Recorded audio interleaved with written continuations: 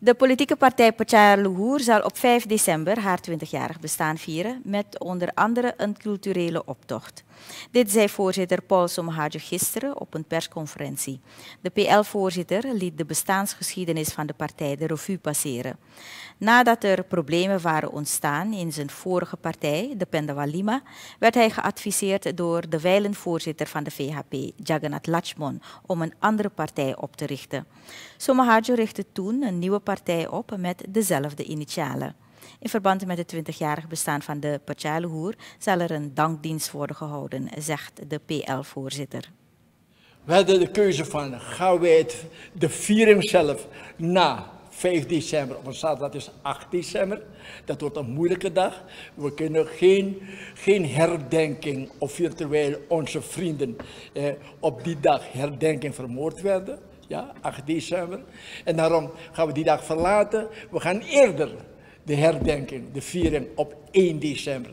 Dus 1 december gaan we de viering van 20 jaar Partij Luhoor houden hier in het partijgebouw. 20 jaar. En dan ga je vragen, wat gaan we hebben? Het is in onze gedachten gaan wij uh, ook een optocht, culturele optocht. Dus op die middag, culturele optocht, uh, we gaan ons verzamelen uh, daar in de omgeving van Nis, cultureel. Somoharjo kijkt met grote dankbaarheid terug op 20 jaar Pachailehoer. Ondanks zoveel tegenslagen heeft de Almachtige mij toch de kracht gegeven om door te gaan, zegt hij. Hoe lang de Almacht met de kracht geeft, wil ik doorgaan.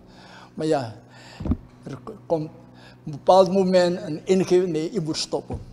Ja, en daarom zeg ik, heren, dames van de PL, hou rekening mee, ik ga 20 uh, uh, 22 stoppen met de politiek.